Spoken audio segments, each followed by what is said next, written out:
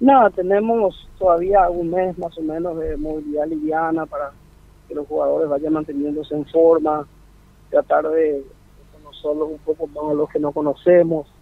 De hecho que Jaime, que nos acompaña en, la, en el cuerpo técnico, también eh, es conocedor de todo el plantel de Atlética, así que eso es una ventaja para nosotros.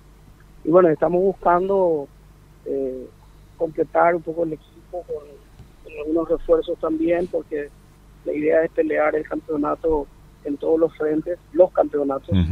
Y eso requiere de un plantel largo, requiere de, una buena pretemporada, requiere de, jugadores también con jerarquía que, que sepan sobrellevar los momentos difíciles. Ya tenemos un primer refuerzo, que es el caso de, de Benjamín Cáceres, que fue goleador del Nacional el año pasado, este año. Segundo refuerzo que ya está confirmado es de Sabino Leiva, que ya lo conocemos a Sabino y tiene, creo que tiene todavía mucho para darnos.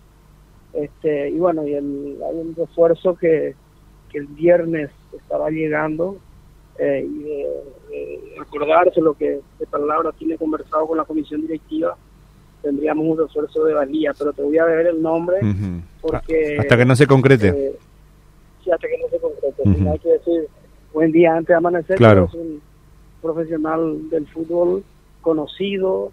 De renombre. En los clubes grandes del Paraguay.